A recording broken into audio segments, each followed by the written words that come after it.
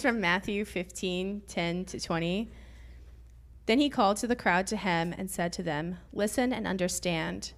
It is not what goes into the mouth that defiles a person, but it is what comes out of the mouth that defiles. Then the disciples approached and said to him, Do you know what the Pharisees took offense when they heard what you said? He answered, Every plant that my heavenly Father has not planted will be uprooted. Let them alone. They are blind guides of the blind.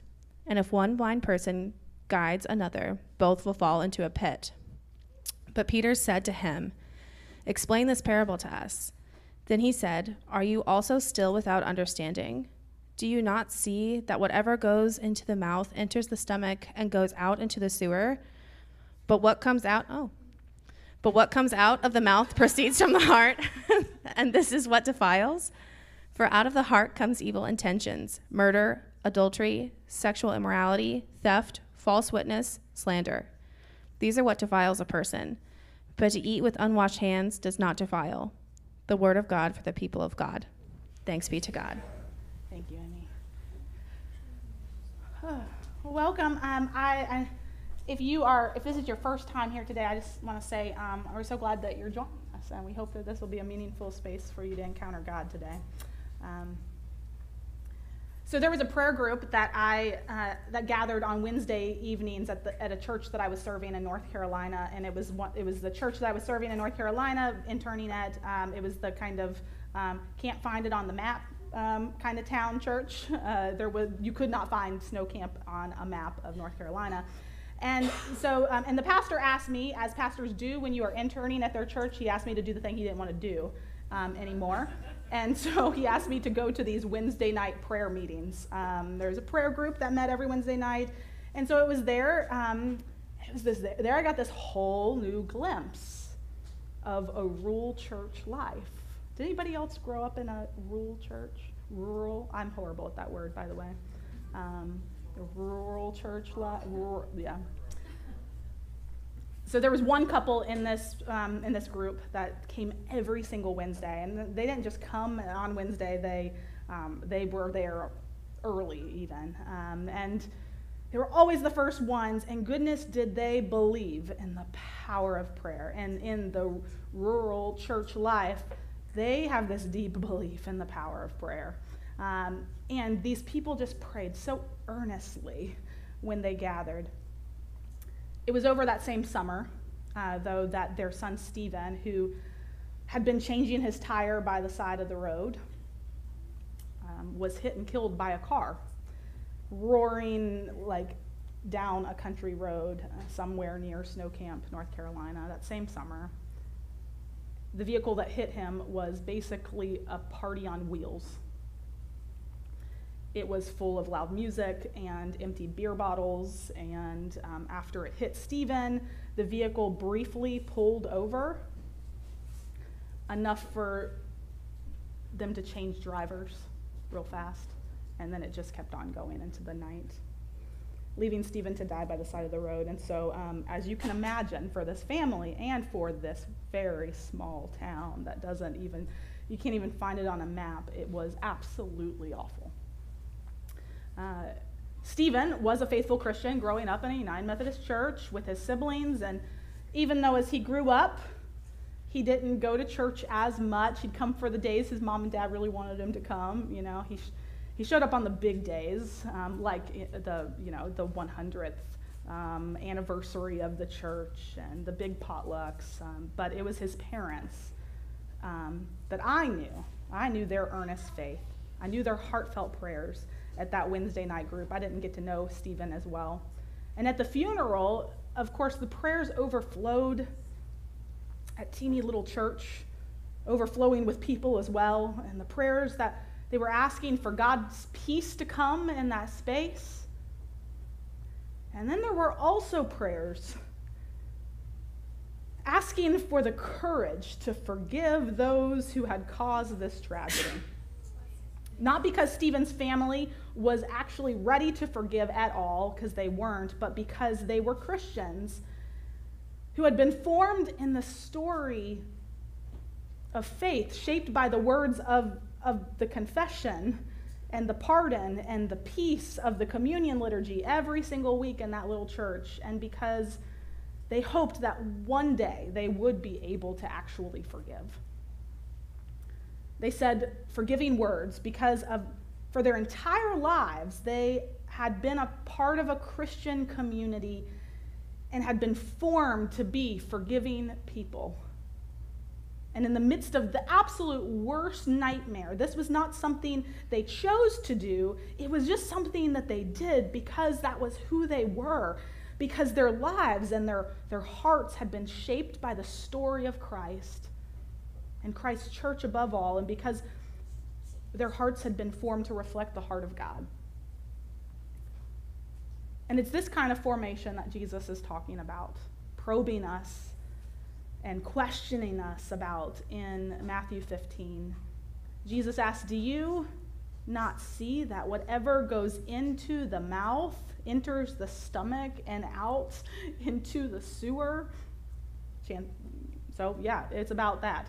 Um, Jesus gets a little bodily gross and fluidy gross, you know? Uh, and you it sounds like an eight year old boy. He, but said another way, Jesus says, Do you not understand that what goes in must come out? Still not much better, actually, when you say it like that. But Jesus isn't an eight year old boy obsessed with bodily functions. What Jesus is talking about is, is the heart and, and our hearts and the heart of God in Matthew's gospel, Jesus and the Pharisees are sparring about what appears to be the practices of ritual cle- cleansing. And, and the Pharisees are pushing the traditional laws of cleanliness before eating as a way of preparing to encounter the holiness of God's creation and the life sustaining gift of food. They would fit in well in our hyper sanitized time, right? Um, this has been a hyper sanitized time, still is.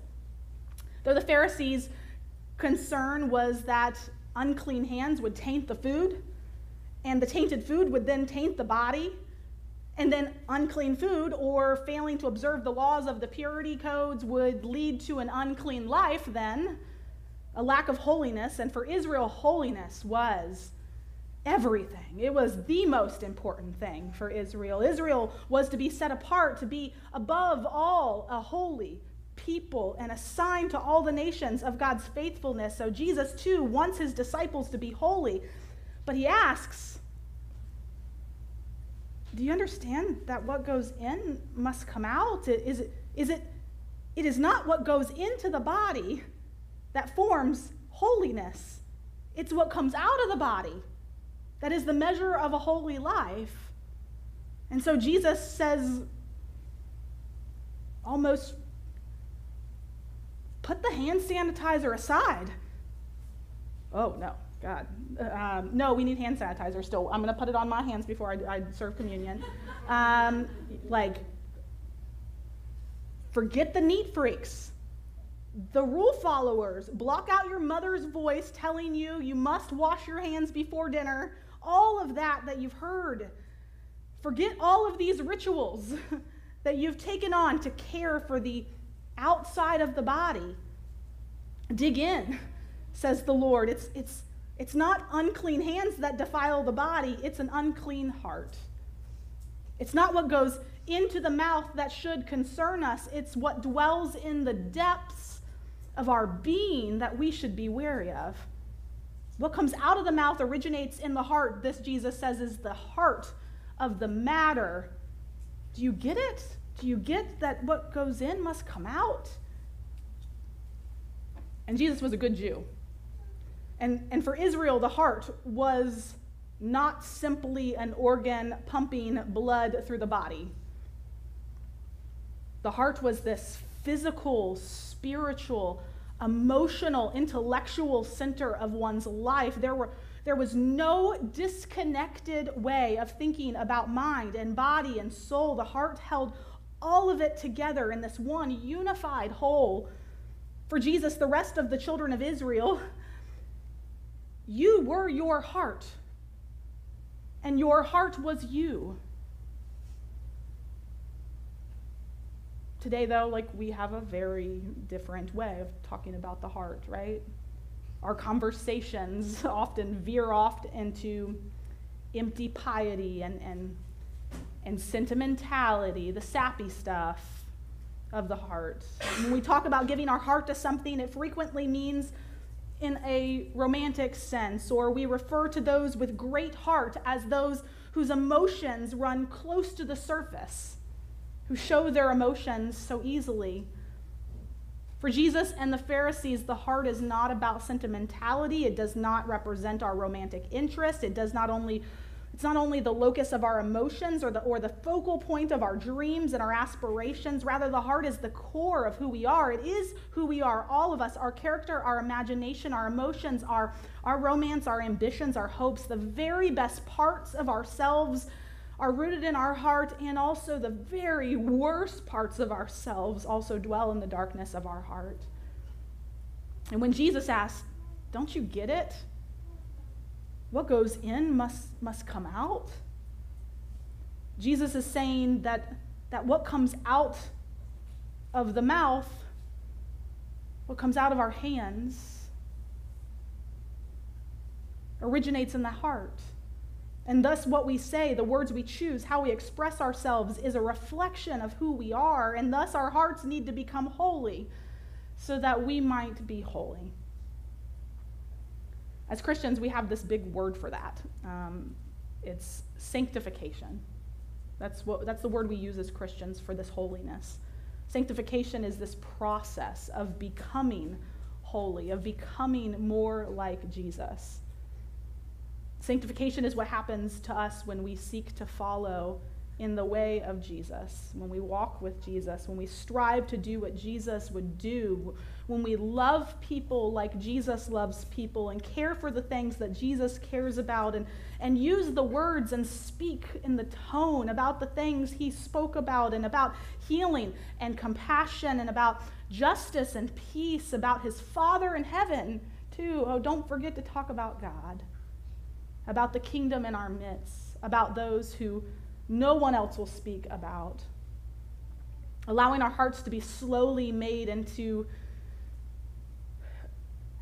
into God's heart, to be is being letting them be remade by, by the Holy Spirit in our lives into this heart of Jesus that it's about developing good habits and practices of Christian living and speaking. It's, it's about learning to confess our sins and offer forgiveness to our neighbor. It's about singing hymns of praise in order that we might actually live a more praising life. It's about saying the creed together when we baptize babies. It's not because we believe every word of it, but because we want to believe every word of it. It's about reading scripture and hearing good words about God in this in this sense each of us is this like massive jigsaw puzzle constantly being put together or taken apart. Each little piece some new or deepened practice of faith these formational patterns. In a space like this these habits and practices feed on one another each a preparation for the one to come when, when Michael Phelps won his seventh gold medal by winning the 100 meter butterfly, um, out touching his closest opponent by one one hundredth of a second. When, when he won this race with this unusual final half stroke that ended up being the one one hundredth of a second difference, he was asked afterwards how he did it.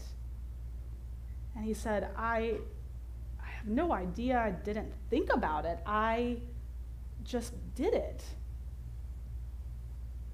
After logging thousands of hours in the pool through repetition and practice of doing the same techniques correctly over and over and over again through the experience of countless races throughout his life, the reflex had, had finally sunk in into, into his very being. He didn't just decide, he didn't he, just did it. And that was the one one hundredth of a second difference between setting an Olympic record that may never be broken and tying a record set by someone else. For those of us who have been baptized in the waters of the Christian life, this is what sanctification means. We practice the way of Jesus until it becomes who we are, until it sinks into our hearts and just settles in, and what comes out reflexively in beautiful ways is Jesus.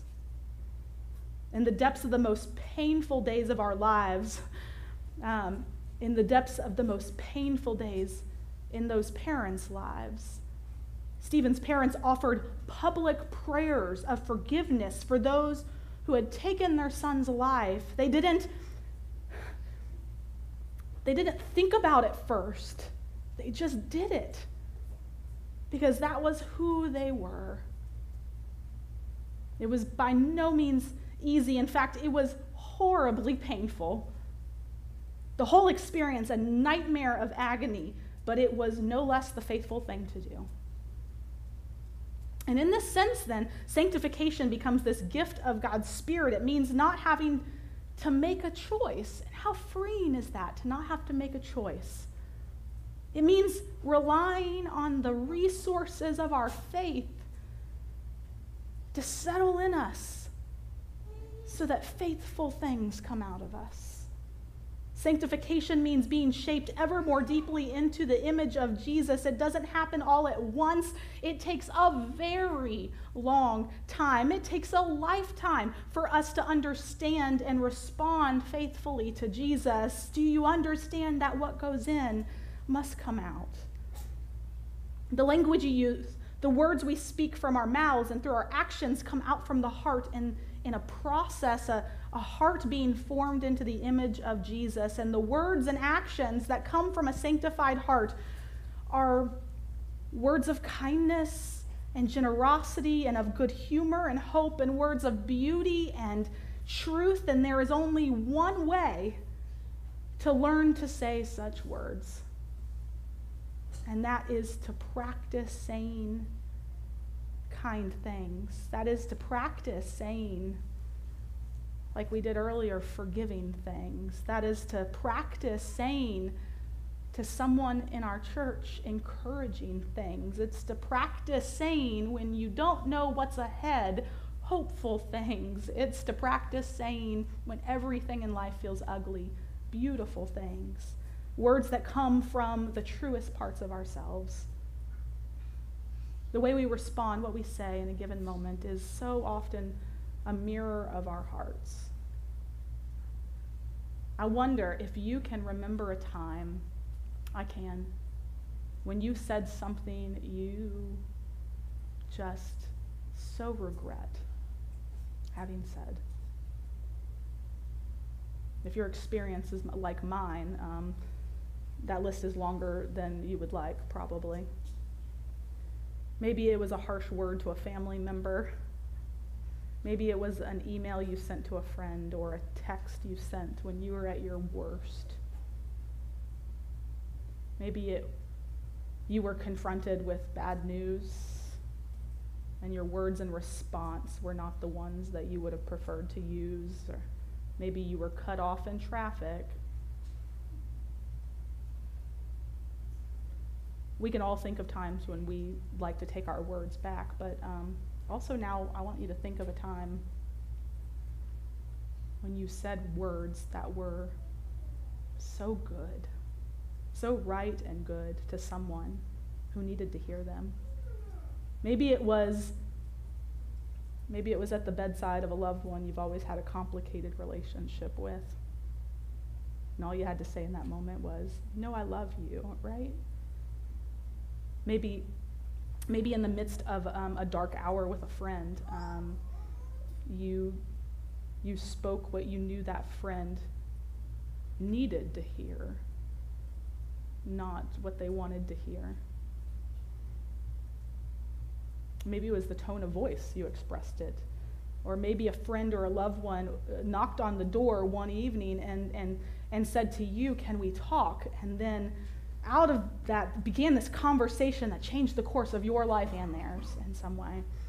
What we say matters, what we do matters, and Jesus allowed us, asks us to allow the truth of who we are to come from the depths of our hearts. And why does this matter? Why do our words matter? Why are they crucial to this big word, sanctification? Because in the depths of God's heart, there is also a word. The words that we say come from our hearts in the same way that Jesus, the living Word of God, comes from God's heart. In the beginning was the Word, and the Word was with God, and the Word was God. And in the beginning, God spoke the Word, and all things came into being. And in that spoken Word, God created the earth and the stars and the sun and the moon. And with that spoken Word, God created humanity in the divine image, and humanity flourished, and then humanity fell. And then, when all else failed, God chose to become that very word that he spoke, a living and breathing word that flowed from the heart of the eternal Trinity, a, a, word that walked and healed and told good news a word that lived and died and rose again on the third day, ascended to the right hand of the Father, and continues to speak into our hearts now those beautiful words that form us. And when there was nothing else to say,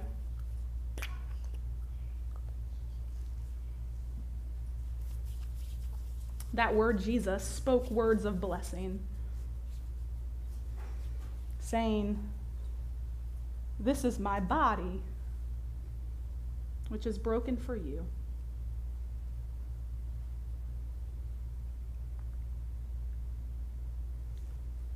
This is my blood, which is shed for you.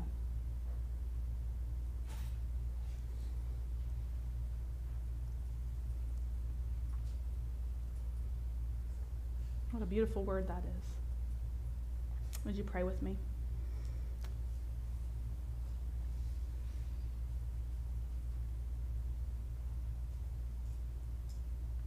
God, pour out your Holy Spirit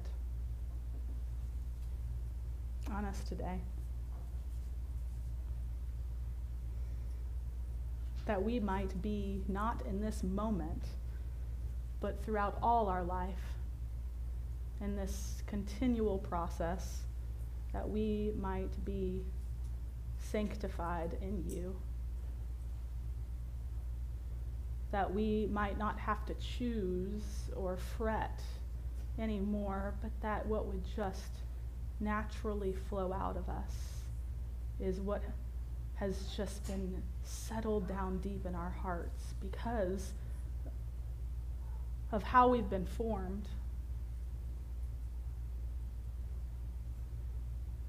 the people before us who taught us what faith is, the songs we sing, the friends who offer us hope. That those things would just settle so down deep in us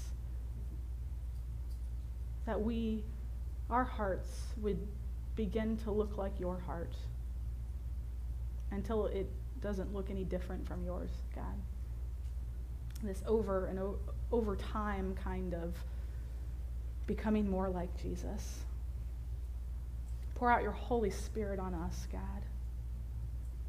and on these gifts before us, these uh, physical signs of your word taking on skin in our midst.